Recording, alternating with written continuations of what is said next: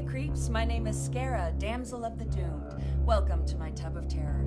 Today I'll be revealing five interesting facts about the Canadian horror classic from 1975, Shivers. And I'll do so rather quickly because these bubbles won't last forever.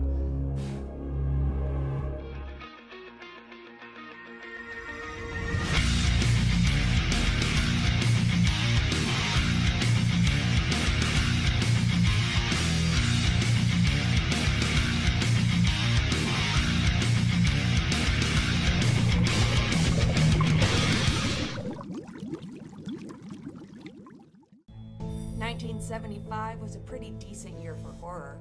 It gave us The Stepford Wives, Jaws, Trilogy of Terror, Deep Red, and of course, Shivers.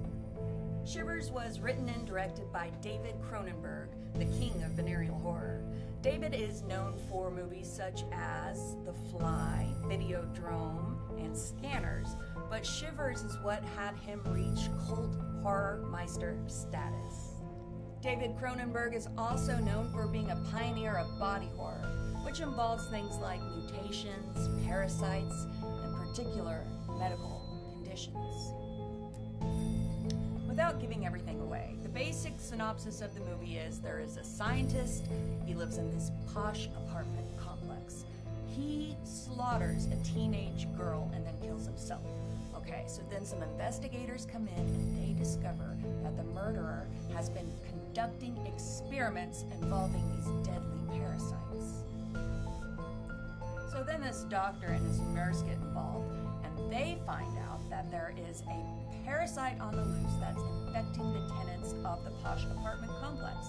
Now, whenever those tenants become a host to the parasite, they turn into sex crazed maniacs who pass the bug on through violent sexual acts. Five interesting facts from the movie Shivers, starting with fact number one. Actress Susan Petrie was unable to produce tears in her scenes, so David Cronenberg did the thing where you chop up onions and hold it up to your face to produce tears.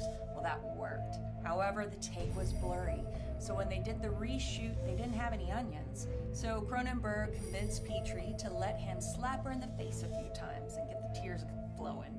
Well, this worked, but Barbara Steele, who was also in the scene, didn't realize that they had this arrangement going on. All she knew was that she saw Cronenberg slapping the actress. When the scene wrapped, she went up to David Cronenberg and she grabbed that man by his collar and lifted him up off the ground and she started yelling at him for abusing the actress. David Cronenberg quickly that this was an arrangement they had, Petrie also said, no, no, no, this is fine. We agreed to this. And everything was well and good. Fact number two this was David Cronenberg's first feature film, and it was very successful. In fact, it became the most profitable Canadian film at its time. However, it wasn't without controversy. In fact, the Canadian Parliament even debated its social and artistic value pondered upon its effect upon society. Fact number three Barbara Steele's bathtub scene featured a leg double in the scene where the slug is near her in the tub. Fact number four Towards the end of the movie, you see a bunch of people take their clothes off and jump into the pool. Well, apparently, a lot of those people were actually crew members who took it upon themselves to strip and take a dip, and that footage remains in the film. Fact number five the shoulder that Nurse Forsyth stabs in the film actually belongs to David Cronenberg. He put a pad under his shirt that she was supposed to stab with a fork, but she missed, and she got him right in the bicep, and he still has a scar to this day. My final thoughts are I don't know. Shivers is about sex zombies, the end. Okay, there's more to it than that. Just like Romero did before him with Night of the Living Dead, Cronenberg uses his debut film to chart the social breakdown by tearing through our most intrinsic taboos. In this case, it's uh, the relationship between class and intense, perverse sexual desires like rape and assault.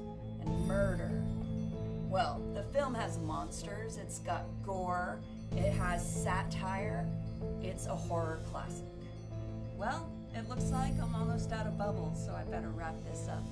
Join me next time when I reveal five interesting facts about the 1976 horror classic, Carrie. Until then, my name is Scarah, Damsel of the Doomed, and I'll see you in your screen.